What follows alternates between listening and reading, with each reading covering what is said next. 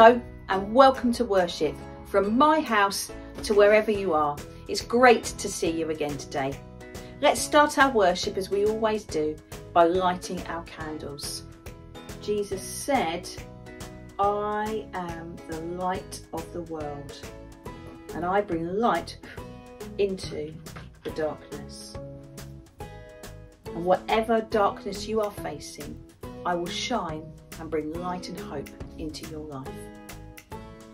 The Lord be with you. Amen. So I've got a riddle for you today. I wonder if you can work out what it is I'm describing. I can be sparkling, but I'm not a star. I can run, but I don't have any legs. I can fall, but I don't get hurt. I'm found in a bath, but I'm not a rubber duck.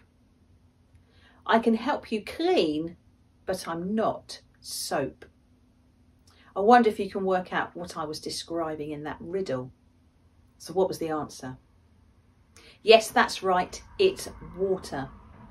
I wonder how many things we wouldn't be able to do in life if we didn't have water. Just have a little think now. Think about what you've done so far today or yesterday. What would we not be able to do without water?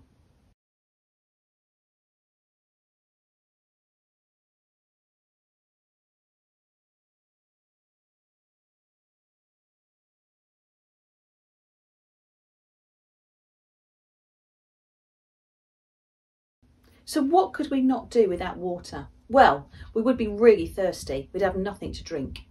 Clean our teeth, we couldn't do, could we? We couldn't boil the kettle because we'd have nothing to put in it, so we couldn't have a cup of tea.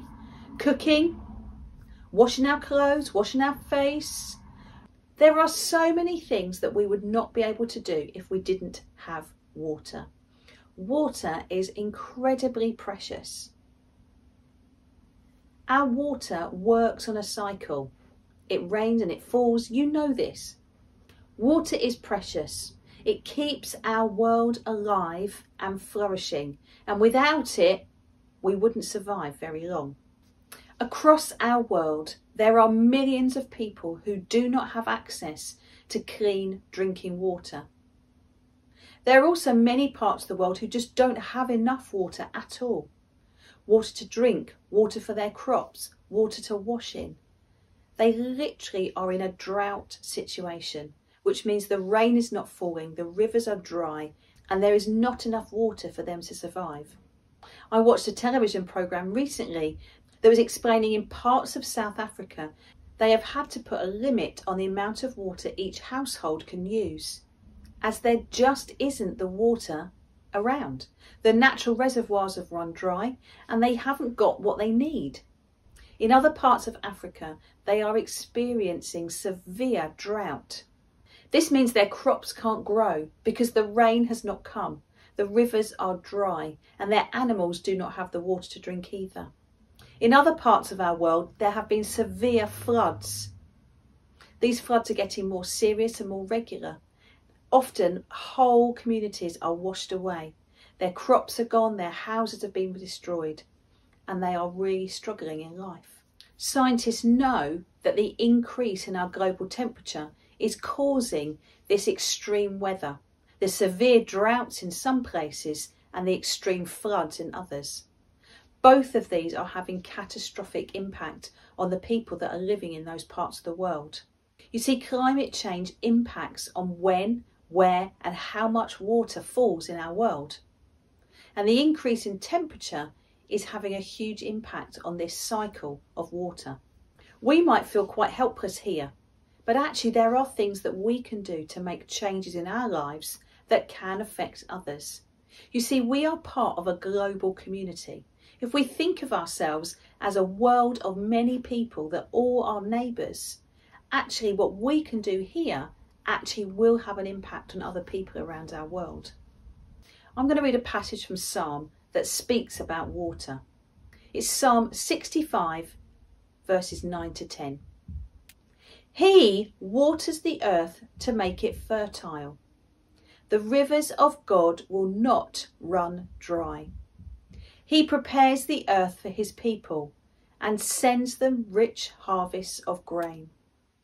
He waters the ground with abundant rain. Showers soften the earth, melting the earth and causing seeds to sprout across the land. I wonder what this verse says to you, particularly with all we've just been thinking about, about the severe weather in parts of our world.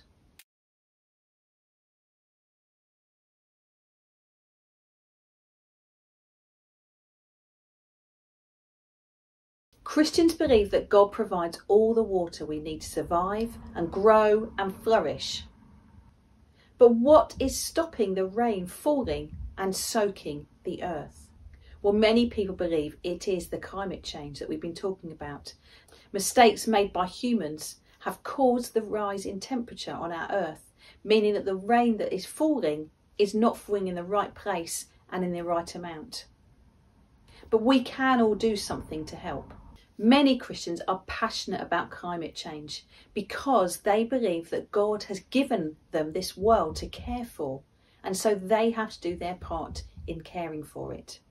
So, here's some things that we could do to save water and to help care for our planet. The first one think about how much water you are using. On average, each person uses 140 litres of water a day. Now, if you think about a big bottle of Coke or lemonade, that's two litres. So that's 70 bottles like that that each person on average uses every day. And also, the things that we wear and the things that we eat also need water to grow. So if you think about a pair of jeans, it takes 6,800 litres to make enough cotton for one pair of jeans. So I wonder how we can save water, but I wonder if we can use water wisely. So not buying more clothes than we need, maybe. And remembering to switch off taps and to put out buckets when it rains so that we've got water for our plants when it's drier. Let's think about how we can use water wisely. How can we care for the water that's around us? Maybe you've got a river or a pond or a canal, or you live by the sea like me. How could we care for this water? Maybe we could do a litter pick. I've noticed there's a lot of rubbish on the beach near where I am, and I'm going to go out with some friends and pick up the rubbish to try and stop it from going into the sea. You probably have seen lots of images of animals in the water struggling because they've got plastic around them, or they've got rubbish, or they've eaten stuff they shouldn't have. So, how can we care for the water that we've got on our earth already? And another thing that we can do to help our planet and the water that we've got is to think about the things that we flush down the sink that goes into the waterway. Chemicals we use for cleaning or kitchen and bathroom products that get flushed down. Are these actually harmful to the water? So we can do some really simple things to help care for our water.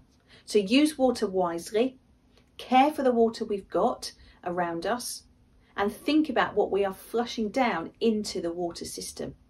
Are those things harmful?